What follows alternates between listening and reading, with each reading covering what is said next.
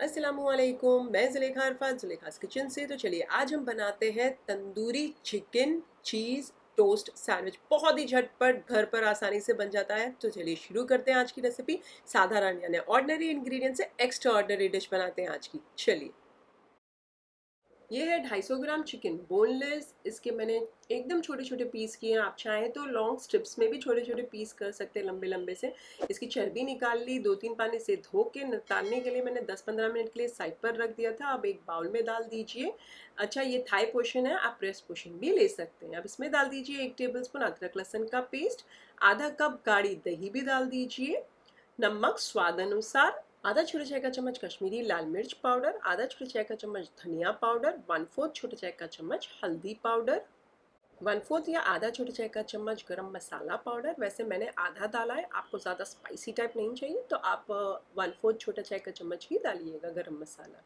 अब आधा छोटे चाय का चम्मच भुना और पिसा हुआ ज़ीरा पाउडर और वन फोर्थ छोटी चाय का चम्मच, काली मिर्चों का पाउडर। अच्छा मैं थोड़ा सा फ़ूड कलर डाल रही हूँ, तंदूरी वाला, आपने नहीं डालना तो स्किप कर सकते हैं। दो हरी मिर्चियों को मैंने कूट के डाला है, और इसे भी डाल कर बहुत अच्छे से मिक्स कर लीजिए और इसे साइड पर रख दीजिए एक घंटे के लिए। मैंने इसे ढक कर फ्रिज में रख दिया था।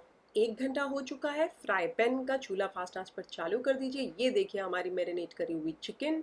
अब फ्राई पैन के अंदर एक टेबल स्पून भरकर मक्खन डाल दीजिए, बटर और थोड़ा सा तेल डालकर थोड़ा उसे गर्म होने दीजिए। जब गर्म हो जाए तो हमारी ये जो चिकन मैरिनेट करी हुई है, ये बिस्मिल्लाहिर्रहमानिर्रहीम बोल कर डाल दीजिए। आप चाहें तो फास्ट आँच पर या फिर मीडियम आँच पर ये जो चिकन है, इसे बार बार चलाते हुए दो मिनट तक फ्राई कर लें। मैंने मीडियम आँच किया है। जब दो मिनट हो जाए तो चूल्हे को कर दीजिए स्लो आँच और इसे ढाक कर तकरीबन बारह तेरह मिनट तक पकने दीजिए। तब तक पकाएँ जब तक हमारी चिकन नहीं गल जाती।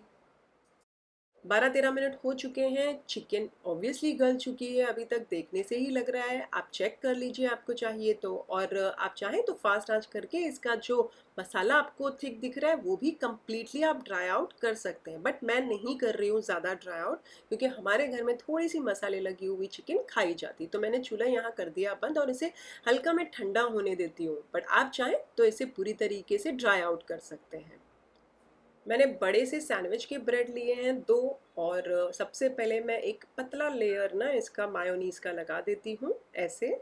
अच्छे से चारों ओर फैला दीजिए हमारे ब्रेड के, और आप नॉर्मल जो ब्रेड आते हैं वो भी ले सकते हैं हाँ।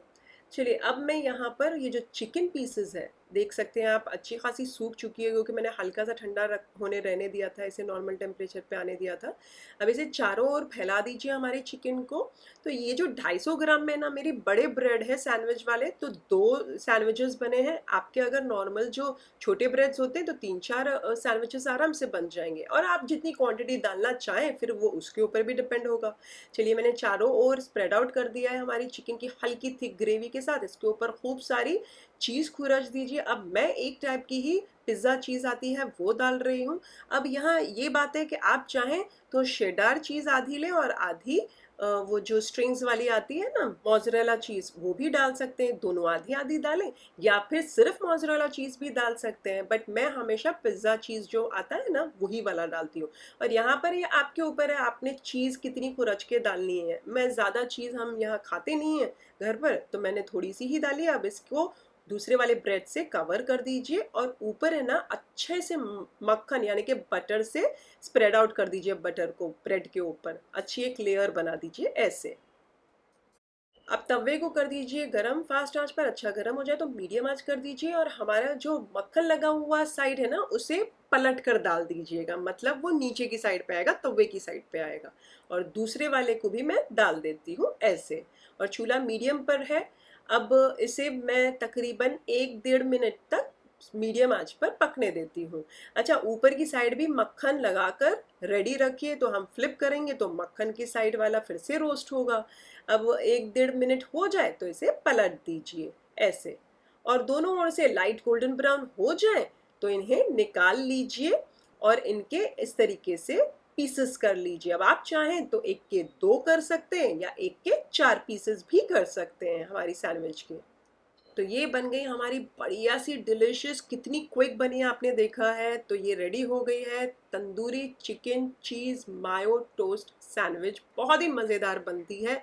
और टेस्ट तो बहुत ही अच्छा है। आप किसी भी मायो डिप के साथ सर्व कीजिए या केचप के साथ सर्व कीजिए। अच्छा इस रेसिपी के अंदर हरी मिर्चियाँ और लाल मिर्ची का पाउडर अपने स्वाद अनुसार एडजस्ट कीजिएगा। और आप चाहें तो ये जो मैरिनेट करने नहीं रखना चाहते हैं एक घंटा तो वो आप टाइम सेव करके डायरेक्टली फ्राइंग प्रोसेस कर सकते हैं। तो मतलब हार्डली कुछ मिनटों के अंदर हमारी ये जो टोस्ट मायोनीज वाली जो चिकन है, तंदूरी वाली, वो रेडी हो जाएगी। तो है ना मज़ेदार रेसिपी आज की? अगर आप बनाएँ तो मेरे साथ कमेंट सेक्शन में ज़रूर शेयर कीजिएगा। मुझे आपके कमेंट्स पढ़ने बहुत अच्छे लगते हैं। रेसिपी अच्छी लगे तो लाइक कीजिए वाले वीडियो को। उससे ज़्यादा अच्छी लगे तो अपने फैमिली और फ्रेंड्स में इस वाले वीडियो के लिंक ज़रूर फॉरवर्ड कीजिएगा। फिर से हाजिर होंगी नई शानदार, दमदार रेसिपी के साथ। टेक केयर अल्लाह हाफिज। बाय